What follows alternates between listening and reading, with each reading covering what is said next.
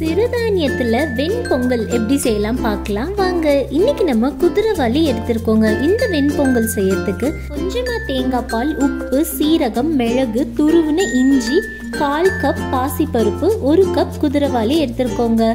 இது எப்படி செய்யறதுன்னு பார்க்கலாம். வாங்க இது எல்லாமே நம்ம ஒரு குக்கர்ல சேர்த்துடலாங்க. சேர்த்துட்டு ஒரு சவுண்ட் விட்டுடலாம். அவ்வளோதாங்க இதை ஈஸியாக செஞ்சிடலாம். ஈஸியாக செய்யலாம். ஹெல்த்தியாக டேஸ்டியாக சூப்பராக இருக்குங்க.